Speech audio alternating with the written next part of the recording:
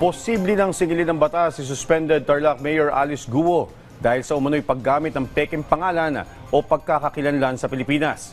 Inirekomenda na ng Law Department ng Commission on Elections na kasuhan ng NBank si Guo ng kasong kriminal. Pero ayon naman sa COMELEC, hindi agad kakasuhan si Mayor Guo. Dadaan muna ito sa preliminary investigation at kapag lumusot dito, ay saka siya masasampahan ng kaso sa korte.